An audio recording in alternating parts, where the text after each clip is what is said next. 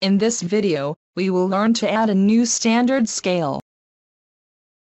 Scales are a way of evaluating or rating a student's performance.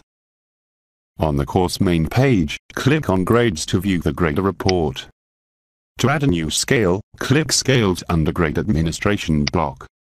Now, click on Add a new scale link. Enter the name for the scale as New Scale. If the standard scale checkbox is checked, then the scale would be available for use in all courses site-wide. Let's check the standard scale checkbox.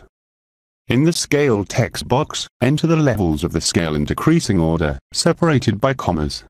Let's enter disappointing, not good enough, average, good, very good, and excellent.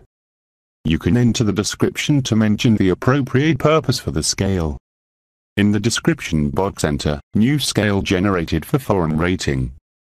Click Save Changes to save the scale. Notice that new scale has been added.